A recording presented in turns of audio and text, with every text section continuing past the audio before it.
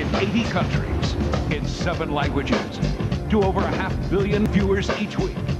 The World Wrestling Federation, the worldwide leader in sports entertainment.